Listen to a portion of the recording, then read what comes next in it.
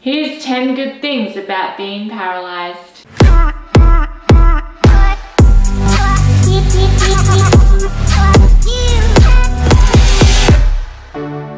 Today, three years ago, I had my car accident and I was paralysed.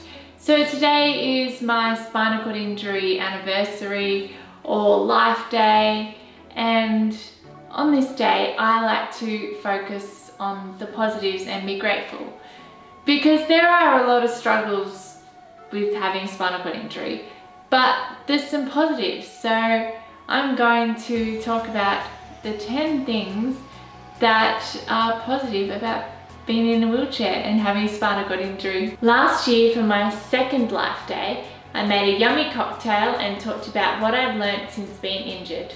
You might be thinking what could there possibly be good about being paralysed?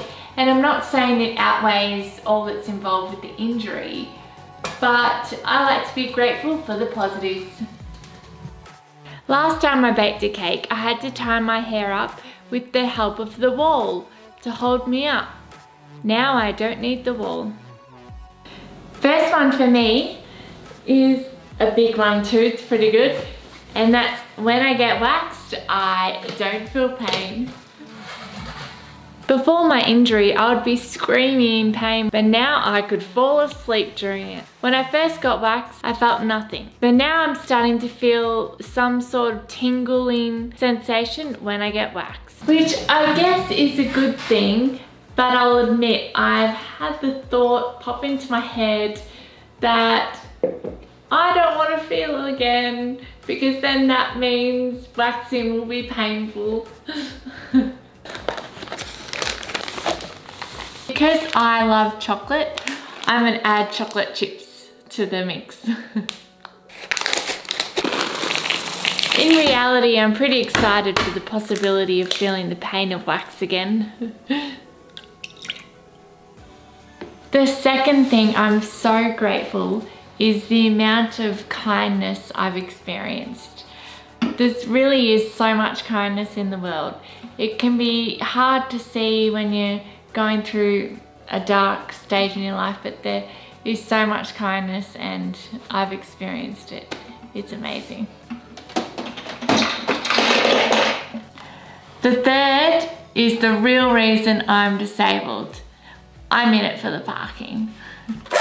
Although it comes with some great parking benefits, there's also not always an accessible park available. But I'm focusing on the positive and Australia are doing better to make sure there are more accessible parks available.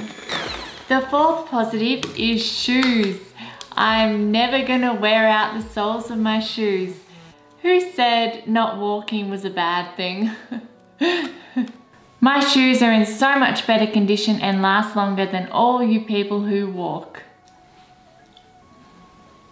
Gee, why would you want to walk and wear your shoes out?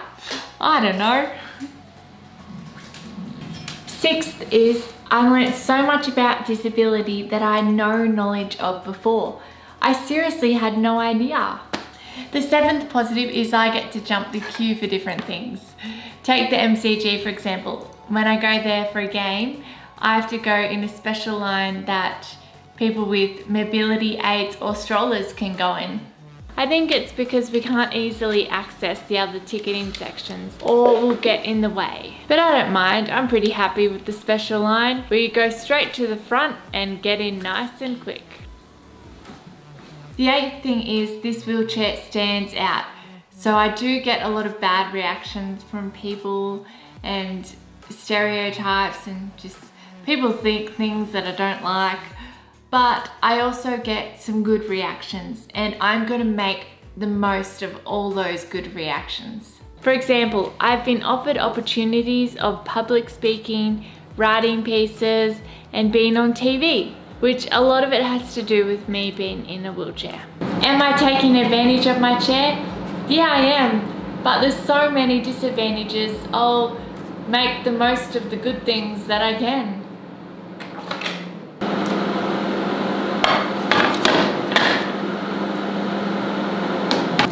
The ninth thing is that here in Victoria, people with a disability get a free public transport card.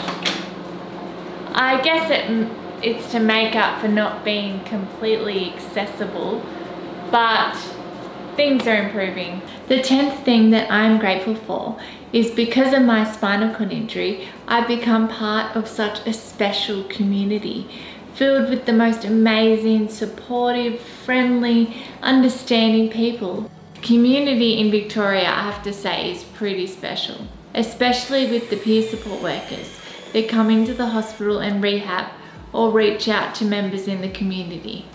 Nobody actually wants to be a member of the spinal cord injury community because the requirement to be a member is quite a big life-changing thing. But once you're in, you feel so grateful that the community is there and that there are people like you, which I'm a volunteer with now. I'm a peer support worker. it's so exciting.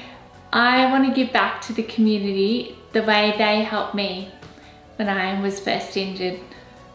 So yeah, it's really important to me. Okay, so I finished my cake now. It looks yummy. It's, I'm not the best cook, so no judging me.